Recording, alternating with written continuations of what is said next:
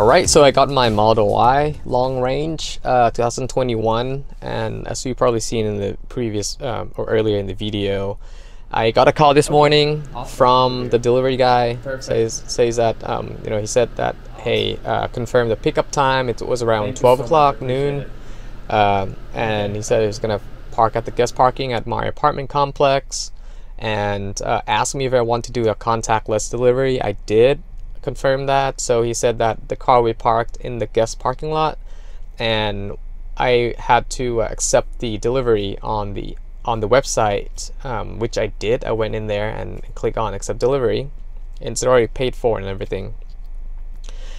And uh, a few minutes later, it showed up in the app. So the Tesla app, which everything controls through here. So it shows up on the app and I went. Uh, the guy called me and said, "Hey, the car is parked there. Everything is good. You know, have fun with your Tesla. Congratulations."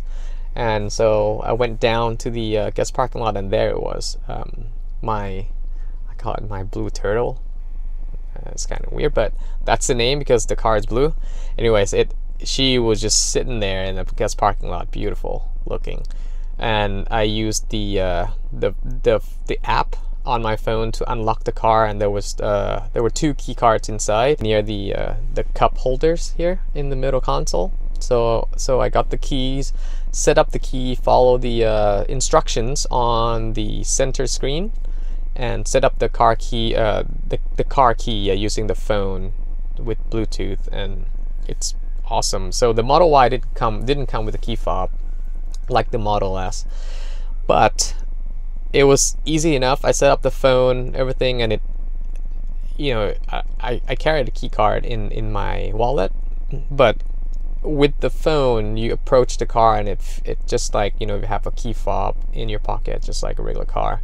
You can come close to the, to the car and open the door and unlock and everything is perfect. So it's been working flawlessly and so I got the car and I drove out to the uh, you know in the sunlight so I can inspect everything, all the paint and everything because you know Tesla is pretty famous or infamously famous around the build quality sometimes. So I check all the gap panels, the paint, and I did find a few issues, like four five issues, actually more like seven, but they're really minor. Like there's some small chip uh, in the front bumper, and there's some you know uh, rubber gasket type of thing. So nothing major. So I found uh, like a few of those. So the guy told me that to go ahead and within 100 miles of delivery and or within 24 hours, whichever comes first, I should report all those issues, take photos, report the issues, and schedule the uh, appointment, a service appointment through the app, which I did. So in the app, there's a scheduled a service section. You go in there, you can describe your issues and you know upload the photos, schedule the time. So I did that, and if you just took delivery of your Tesla, make sure that you do it within you know before the 100 mile mark. Um, so that's pretty important. So I did that. I scheduled the services for a couple of weeks away. So we'll, which I'll take them in, and hopefully they'll take care of everything. And yeah, so the whole experience has been pretty good. The uh, communication from Tesla is it's definitely not the best, but so I, I have another Model S that which I ordered, you know, in January of this year, 2021 and I don't even know when I'm gonna, when I'm gonna get it. So right now it says maybe August, but the date keep going back and forth, and sometimes it doesn't say anything at all. But anyways, the communication on that order on my, on my Model S has been absolutely terrible. There's no, I didn't talk to anyone. I couldn't get any calls back. It was bad. But Model Y, I ordered it on the website I mean, it was like 3 a.m. when I, I couldn't sleep, and I was like, man, my car was giving some issues, my old car, and my Model S is not coming in for another who know when, right? So when I saw this on on the website in inventory on the Tesla website for this particular Model Y, There was only one on the website at the time, and it it's like it's pretty good. The configuration, the color I liked. So I, I at 3 a.m. couldn't sleep. I ordered it. Uh, just so I can use it until I get the Model S.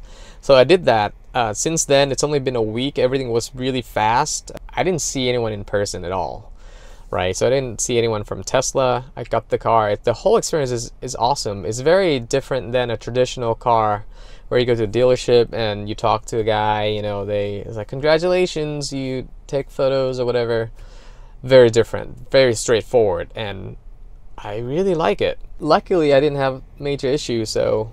But yeah, that has been my experience ordering the Model Y, the Tesla Model Y, and taking delivery uh, using the contactless method. Let me let me know if you guys have any questions or anything I could help with. Um, other than that, I'm probably gonna have a review of the Model Y here coming soon. Also, let me know what you want to know because I, I know there's already a lot of videos on YouTube about Model Y. So, yeah, uh, stay tuned and um, thank you for watching.